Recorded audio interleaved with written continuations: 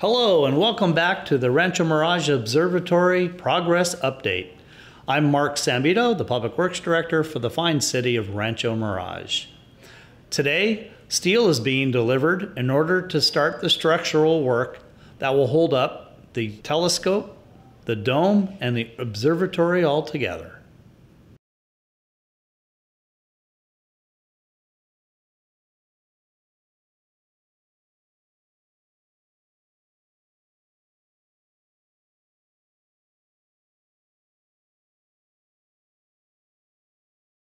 The workers have been busy offloading the steel from the truck. A large crane is used because the pieces weigh so much. They'll stack the steel on different sides of where it's going to be placed, like a jigsaw puzzle, and then put it together and weld it individually.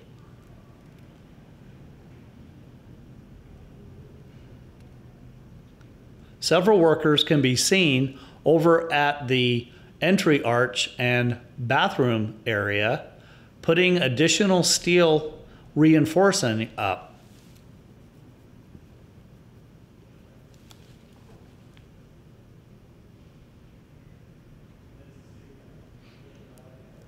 After the contractor erects a good portion of the steel structure around the base of the telescope, they will extend the steel rebars that will hold up the telescope itself.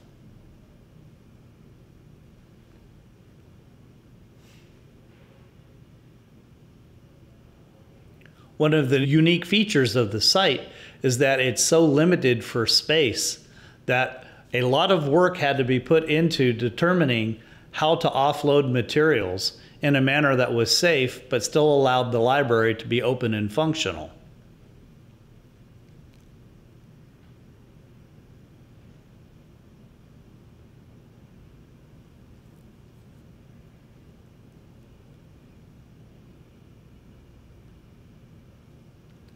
Many of the steel pieces that will make up the metal structure are pre-curved in order to allow for quick erection out in the field. The most important thing here is timing. It's important that the steel be placed and welded as quickly as possible, especially with the desert heat having to handle metal objects on a very warm day.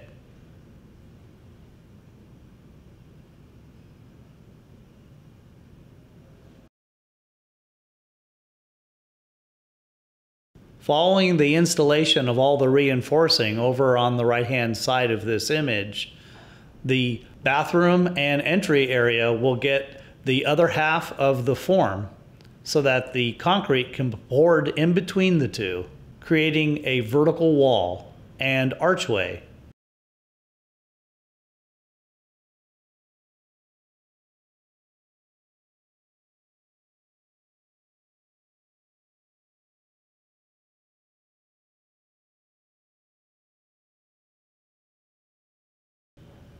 Thank you so much for joining us on this segment of the Rancho Mirage Observatory Construction Progress Update. We look forward to seeing you again, and the next images we should see will be a fully erected steel structure that will also include the additional steel around the bathroom and the extension of the reinforcing for the telescope. Thank you again, and this has been Mark Sambito, your Public Works Director, with an update.